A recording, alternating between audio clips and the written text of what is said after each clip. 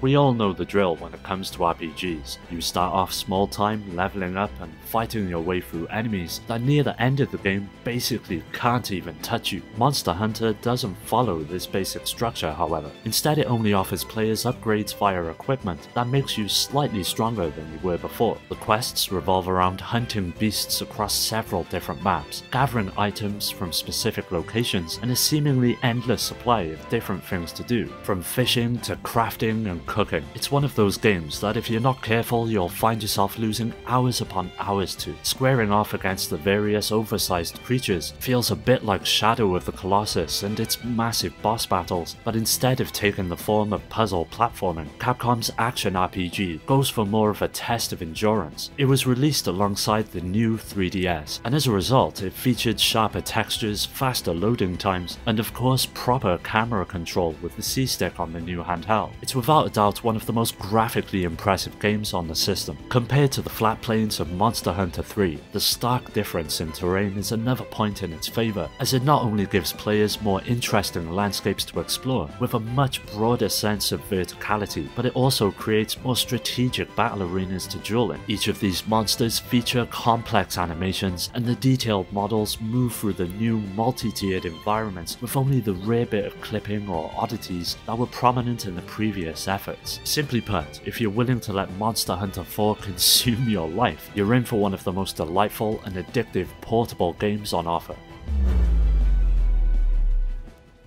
Over the years, the Metal Gear Solid series has been one of those collections of games that have shaped me, not only as a gamer, but as a person as well. The thought-provoking narrative and exquisite gameplay of each entry has always been something that has excited me from each release to the next, and the 3D remake of Snake Eater on the 3DS was no exception. Packing this classic into a portable adventure was no easy feat however, but Kojima Productions took on the challenge and delivered one of the most graphically impressive games on the handheld. Now I won't bore you with the story as everyone and their dog has likely played Snake Eater at this point, so let's get right into the visuals. The original Metal Gear Solid 3 demonstrated what the PlayStation 2 was capable of, and Snake Eater 3D does the same for the 3DS. Every area is absolutely dripping with detail. You can see the grass move as things crawl through it, hear the sloshing of nearby streams or the call of an unseen bird, and notice the rich variety of colours and textures of the jungle and buildings. Each cutscene from Snake's introduction to the stunning ending is just as beautifully animated and portrayed as before. Of course, turning on the 3D literally adds an entirely new dimension to the gameplay, which makes sneaking around all the more engrossing. The only drawback is the occasional frame rate dip when there's a lot of activity on screen. Some battles and guard confrontations slow to a crawl at certain points, but it's nothing drastic however, but it is noticeable. By no means is this the best way to experience this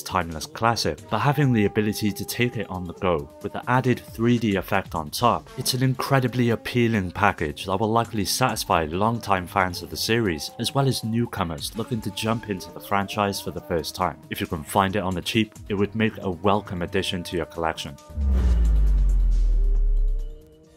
Kirby has always been a kind of blank canvas for Nintendo. Every time someone inside the company has a new idea, they usually go to HAL Laboratory to see how it can be implemented within a video game. Although the basic mechanics of Planet Robobot can be very simple at the beginning stages, the potential they have and the way they are married with other aspects of the game like the designs of levels and power-ups is truly sensational. The main feature of the adventure though comes in the form of the Robobot armor, a robot that can be piloted by the player, which Kirby can take over and not only break obstacles that Kirby cannot break alone, but it can also copy abilities like Kirby himself. Unfortunately, not all of the abilities have a Robobot equivalent, but the new skills that do are varied and interesting. Fighting is not the only thing that Kirby has going for it. The stages have a range of puzzles that for the most part are not obtuse, but not terribly simple either. They require having Kirby use both abilities on foot and in the Robobot armor creatively in order to get the collectibles in the game, which unlock more stages to play and are necessary for fighting the boss of each world. Now one of the things that is really worth highlighting is the way in which Planet Robobot takes advantage of the depth that the 3D effect of the 3DS provides the player. Although the game is very much a platformer that moves in two dimensions, the reality is that the game seeks to be more than just that.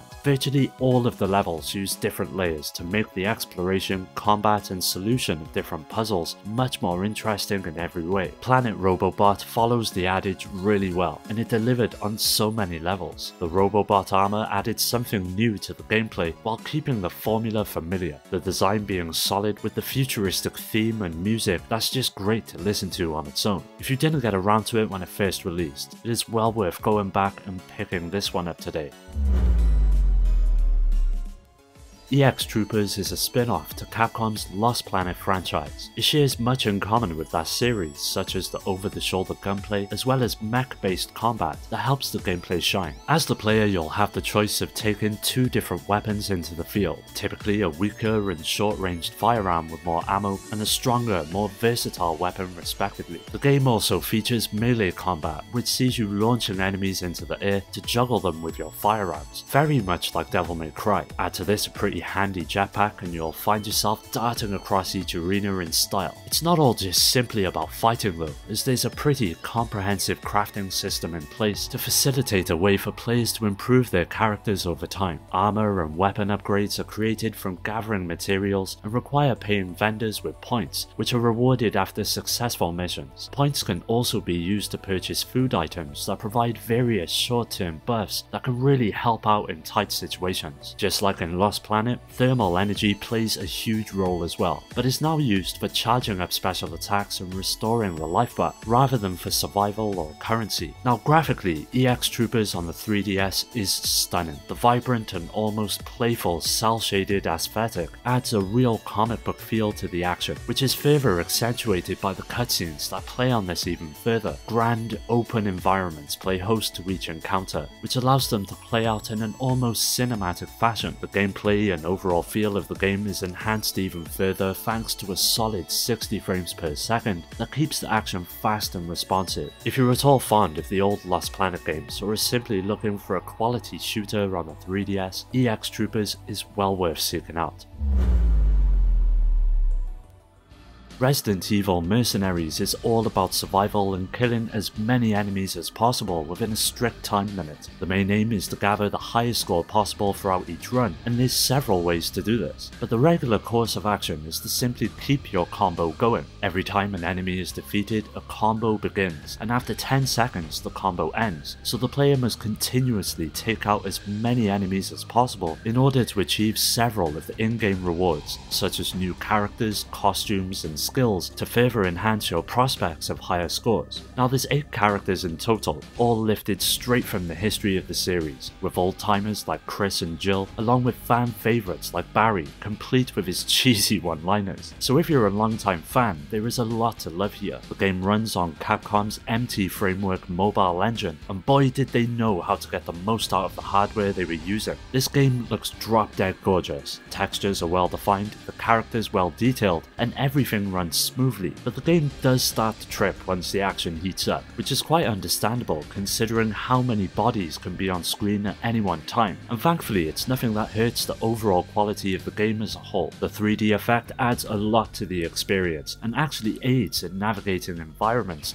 due to the much more prominent sense of depth when you're frantically trying to make your way around each map, all the while being pursued by waves of the undead. It provides a real advantage, but as you would expect there are some downsides to turning it on, one being the frame rate, which takes a bit of a hit, making some of the more intense moments quite cumbersome thanks to the added loss of frames. But with dozens of hours of content, through unlockable characters, costumes, leveling up skills, and collecting the 50 medals the game has, as well as earning high scores with each character, Resident Evil Mercy mercenaries will have you fending off hordes of zombies for hours on end.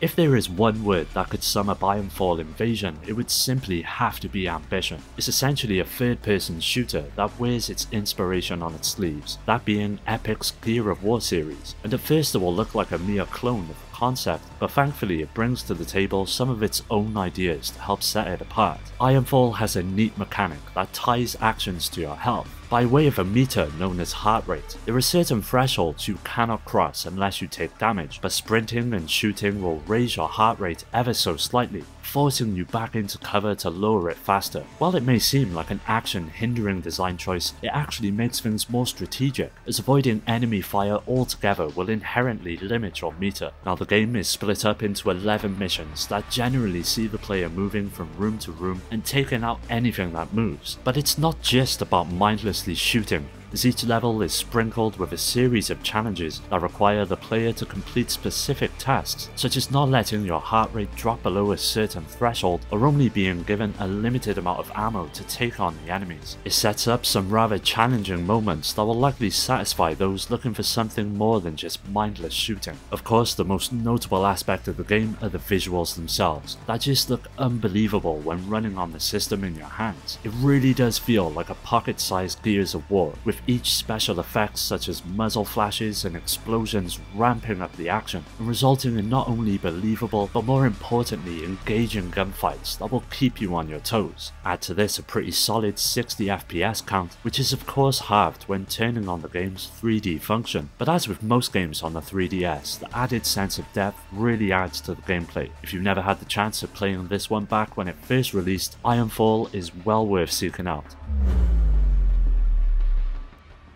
Ever Oasis is a hybrid that mixes the popular town building mechanics found in the Animal Crossing series with the action and sense of adventure found in the Zelda games. You play as a young boy known as Tethu, who has the ability to create magical safe havens known as an oasis. After your brother is attacked by an evil no-gooder, with his oasis being laid to ruin, you set out to help and gather up enough resources to not only rebuild the haven, but take down those responsible for its destruction. While the game is centered around around building these spaces, there are times where you will have to venture out into the great unknown to seek out residents or explore nearby caves for materials. This is where the combat comes into play, as the overworld is inhabited by a surprisingly diverse set of monsters. It's a pretty simple affair with Tethu possessing a basic sword and tornado attack that helps bring an end to any threats you may meet along the way. Graphically, Ever Oasis is a really impressive game. The cutesy, cel-shaded visuals fit the theme of the game perfectly and manage to create a captivating world that's just waiting to be explored. The vast, open plains that occupy the overworld look fantastic on the small screen, which really adds to the sense of adventure the game is going for. While many of the environments heavily feature sand, they don't get repetitive due to the developers taking advantage of all the different colours of the desert. Sand may be tan or possibly more white and turns into a beautiful shade of greenish blue at night. Tethu is also super cute and the enemy designs are creative and varied. It all comes together to create one of the most visually pleasing 3DS games you can grab on the handheld.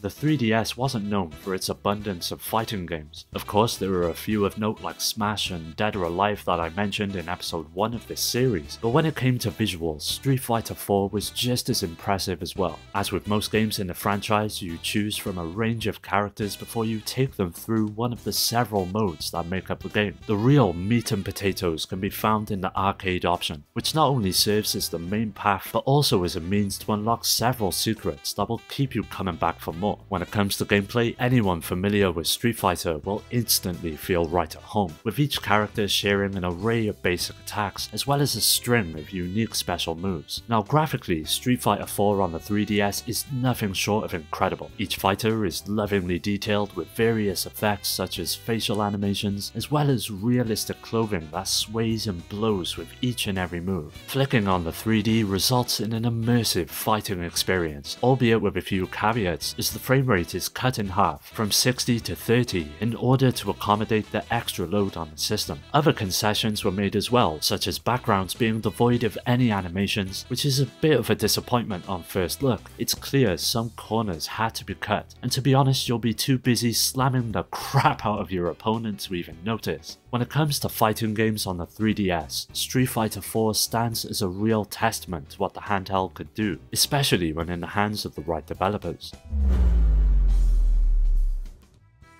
Put simply, Dragon Quest VIII is one of the best RPGs made even better on the 3DS. It doesn't feature any complex battle mechanics or novel progression systems, but it puts together a competent adventure that can stand tall amongst the similar experiences on the handheld. What's new to the 3DS version are a number of quality of life improvements that go a long way in making the game an even more pleasant experience to play. The most notable change being that random encounters are completely gone and are instead replaced by icons representing the enemies within the world. Having the ability to explore the vast areas the game offers up without interruption was such a welcome change that sees you not having to run into a battle literally every 10 seconds. The 3DS version also allows you to double the battle speed, a much needed addition which doesn't need much explanation. To top this off, it is sprinkled with new story content and a few new dungeons that should entice veteran players due to the added context they afford the story. Now graphically, while the draw distance for environments is much smaller than that in the original version of Dragon Quest VIII,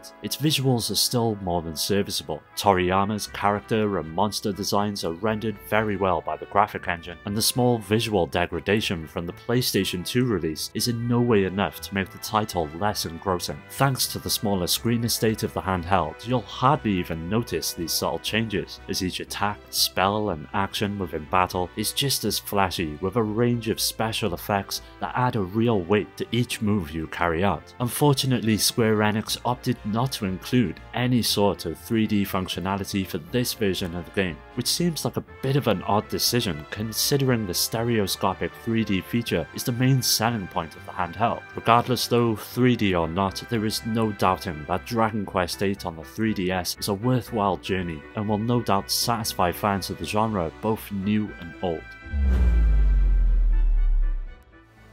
Ocarina of Time is a game that needs no introduction, it stands as one of the most memorable adventures of all time. This is no doubt one of the reasons it made its way to the 3DS, completely revamped for the handheld with many new features and more importantly, updated visuals. Every area in the game has much greater detail and is also presented in a higher resolution. Best of all, the rather bland pre-rendered backgrounds of most interiors are now clearly created with a large number of polygons and managed to make Hyrule feel like a living and breathing space, not just a set piece. One big change to the game is that the FPS was bumped 20 to 30. I know it doesn't sound like much, but it really made the game run much smoother than its original counterpart on the N64. The developers at Grezzo made it a priority to model all of the characters and environments after their original artwork, and doing so gave us a Zelda adventure that greatly surpasses that of the original. Facial expressions are crisp, Link actually has fingers and hand movements which are noticeable whilst doing things such as playing the ocarina. When the 3D is turned on you do sacrifice a little anti-aliasing, but it is still nothing short of an amazing experience. Not only does it just look great, but it even helps out in battle because the added depth gives you a better sense of the distance between you and your opponent, so you don't accidentally run into them or have your attack hit just short of where the enemy is standing. After playing through this title, you will swear up and down that Ocarina of Time always looked this good, but trust me, it hasn't. Well that does it for today's video. Keep an eye out for part 3 as that will be coming up soon, so don't forget to subscribe and hit that bell to get notified about new videos, which release every Monday and Thursday. You can follow me on all of the socials to stay up to date, and also join my growing community on Discord to meet many like-minded gamers to continue the conversation with. I'd like to give a special shout out to my Patreon supporters,